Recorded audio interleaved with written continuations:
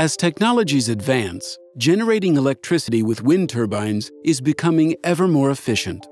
Wind energy is successfully competing with other types of energy in terms of both cleanness and price. What is a wind turbine?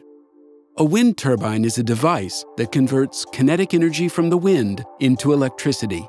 Wind turbines are manufactured in a wide range of shapes and sizes, but the most common design involves three blades mounted on a tower made of steel or a mix of steel and concrete.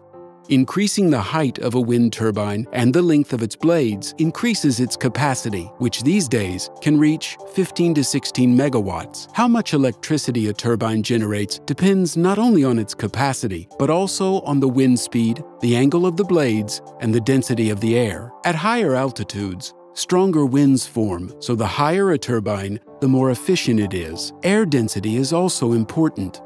When the density is higher, more energy can be generated.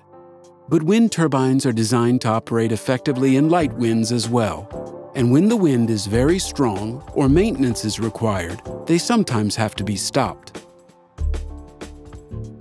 How does a wind turbine work? There is a wind vane and a wind speed meter at the top of each turbine.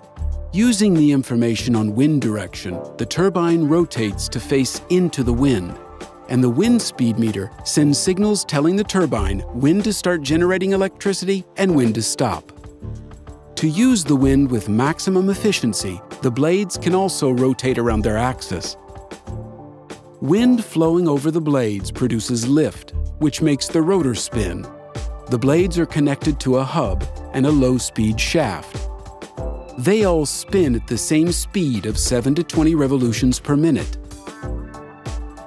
But for the generator to produce energy, it needs a faster rotational speed. That's why most wind turbines have a gearbox, which multiplies the rotational speed of the low-speed shaft by over 100 times. The high-speed shaft then rotates at a speed of up to 1500 revolutions per minute.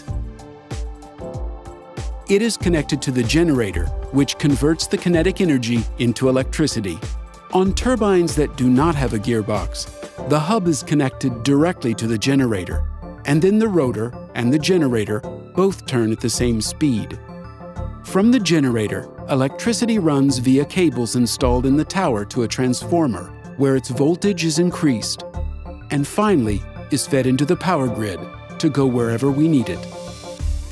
How do wind turbines affect us? A modern wind turbine generates about as much noise as a lawnmower, when proper distance is maintained from the nearest residential areas, the noise put out by a wind turbine combines with the ambient noise and is indistinguishable. You don't hear wind turbines any more than you hear a modern refrigerator operating. The choice of proper location and distance also avoids or minimizes any impact of the shadow wind turbines cast. Offshore potential. Currently, the majority of wind turbines are developed onshore. But there is also active development in the sea. Offshore wind farms are very important for achieving Europe's plans to become a climate neutral continent by 2050. Offshore wind energy generation is not only clean, but is also getting cheaper. Offshore wind farms are competing successfully with new nuclear and gas power plants, so they have good prospects. In the future, the majority of power generated in Lithuania will be generated using wind energy. By developing this type of energy, we are creating jobs, helping reduce dependency on fossil fuels, and significantly contributing to climate change mitigation. At Ignitis Group, we are creating an energy smart world